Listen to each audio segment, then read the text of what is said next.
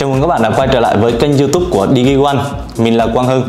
Hôm nay mình sẽ mở hộp và giới thiệu đến các bạn một dòng sản phẩm camera wifi ngoài trời, hỗ trợ hình ảnh có màu vào ban đêm, đến từ thương hiệu iMount và đó là F2FB đây là thiết kế hộp của sản phẩm. Thì ở mặt trước sẽ có in hình của chiếc camera F2FB và bên góc chúng ta sẽ có một cái logo full color.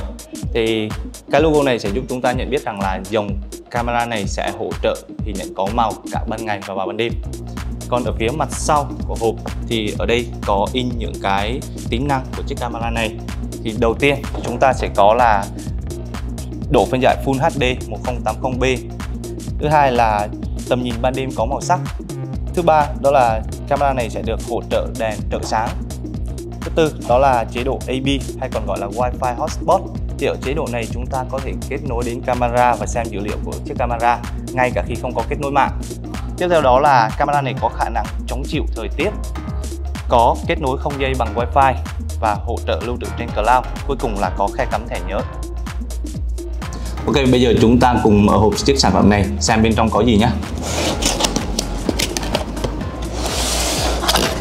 Đầu tiên chúng ta sẽ có một quyển sách hướng dẫn sử dụng thì chúng ta có thể uh, cài đặt camera à, theo cái hướng dẫn của cuốn sách sử dụng này.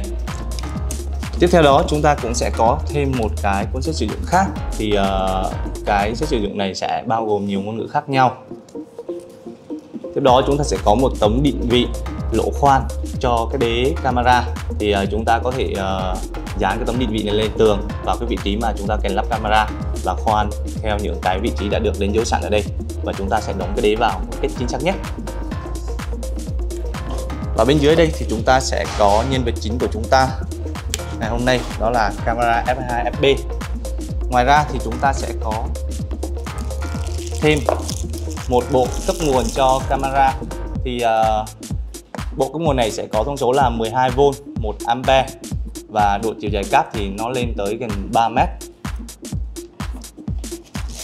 Tiếp đó thì chúng ta sẽ có một bộ bảo vệ cái đầu cáp kết nối thì uh, bộ bảo vệ này nó có công dụng là sẽ bảo vệ cái đầu kết nối uh, các mạng của camera. Thì uh, nó sẽ giúp cái đầu kết nối này nó không bị vào nước ảnh hưởng đến cái tín hiệu của camera. Và đương nhiên chúng ta sẽ có thêm một uh, bộ Orbit để uh, gắn đế camera. Trở lại với nhân vật chính của chúng ta ngày hôm nay camera F2 FB thì chúng ta có thể thấy là chiếc camera này được thiết kế một cách là khá là nhỏ gọn thì uh, vỏ của chiếc camera được làm bằng chất liệu nhựa cao cấp à, camera thì được trang bị hai kèn anten và công nghệ chống hiệu MIMO giúp chiếc camera này có thể kết nối đến Wi-Fi một cách tốt hơn và ổn định hơn. Phía trước camera sẽ được trang bị một ống kính là 2,8mm và nó cho góc nhìn lên tới là 115 độ và độ phân giải là 2 megapixel thì uh, chiếc camera này sẽ cho ra hình ảnh là Full HD. Ở bên ống hai bên ống kính thì chúng ta sẽ thấy là camera được trang bị hai cái đèn trợ sáng. Thì uh, hai đèn trợ sáng này sẽ có những cái chế độ hoạt động khác nhau. Thì à, ở chế độ là xem có màu ban đêm thì hai cái đèn trợ sáng này nó sẽ phát sáng và giúp cho chiếc camera này có thể ghi hình có đầy đủ màu sắc trong cái điều kiện thiếu sáng và ban đêm. Tiếp theo đó ở trên thì chúng ta sẽ có một cái đèn led trạng thái của camera. Phía dưới thì camera được trang bị một cái mic thì uh, giúp cho camera này có thể ghi hình và ghi cả âm thanh.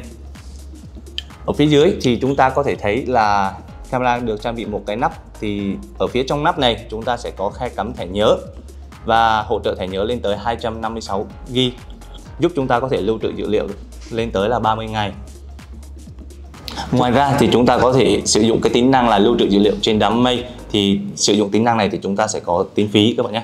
Và chúng ta cũng có thể là sẽ gắn chiếc camera này vào đầu ghi hình thì chúng, chúng ta sẽ lưu trữ dữ liệu trên cái đầu ghi bằng ổ cứng Thông thường thì ở trong cái nắp này sẽ có thêm nút reset thì nhưng ở trên con F2 FB thì à, cái nút reset này nó được thiết kế lộ ra bên ngoài giúp chúng ta có thể đặt lại cái thiết bị một cách dễ dàng hơn mà không cần phải mở chiếc nắp này ra như các cái loại camera ngoài trời thông thường khác. Và nút reset này sẽ có hai cách sử dụng. Khi chúng ta nhấn nút reset hai lần thì nó sẽ kích hoạt cái chế độ AB Wi-Fi hotspot lên. Và khi chúng ta nhấn giữ nó trong vòng khoảng tầm 10 giây, thì chiếc camera này nó sẽ khởi động về cái cài đặt mặc định ban đầu. Và ở phía dưới thì chúng ta sẽ có một cái mã QR code để giúp chúng ta cài đặt cái chiếc camera này. Phần giữa của chiếc camera này thì sẽ có một cái khớp xoay, thì giúp chúng ta có thể điều chỉnh được cái góc nhìn camera. Và phần tiếp theo đó là cái đế của camera thì giúp chúng ta sẽ cố định chiếc camera này lên tường hay là lên trần nhà của các nhà các bạn. Và ở phần đuôi thì chúng ta ở đây chiếc camera sẽ có hai đầu kết nối. Cái đầu tiên là cái đầu kết nối cấp nguồn cho chiếc camera này và một đầu còn lại thì sẽ là đầu kết nối mạng bằng dây len và trong trường hợp mà tín hiệu Wi-Fi quá yếu hay là khoảng cách kết nối quá xa thì chúng ta có thể sử dụng cái phương án là kết nối mạng bằng dây này giúp cho camera có cái tốc độ kết nối ổn định hơn. Về khả năng chống chịu thời tiết của chiếc camera này thì nó được trang bị chuyện kháng nước IP67 và có vỏ nhựa thiết kế cao cấp thì giúp cho chúng ta yên tâm khi mà camera này hoạt động ngoài trời nắng, mưa hay là bụi bẩn. Trên F2 FB thì sẽ được tích hợp tính năng phát hiện chuyển động thì khi có người đột nhập trong và di chuyển trong cái khung hình của camera thì nó sẽ gửi thông báo về ứng dụng trên điện thoại của các bạn để các bạn kịp thời phát hiện cái kẻ đột nhập đấy. Và cuối cùng thì chiếc camera này được trang bị đèn hồng ngoại lên tới 30m giúp cho chiếc camera ghi hình có hình ảnh độ sắc nét cao khi không bật chế độ ban màu ban đêm. Vừa rồi thì mình cũng đã mở hộp và giới thiệu xong cho các bạn chiếc camera wifi ngoài trời F2 FB của iMount. Nếu các bạn có câu hỏi nào thì các bạn có thể để lại ở dưới phần bình luận. Link mua sản phẩm này thì mình sẽ để ở dưới phần mô tả hoặc các bạn có thể liên hệ trực tiếp lên tổng đài miễn phí 1800 0047 để được hỗ trợ từ các chuyên viên tư vấn của DigiOne. Cảm ơn các bạn đã theo dõi video. Còn bây giờ thì xin chào và hẹn gặp lại các bạn trong những video tiếp theo.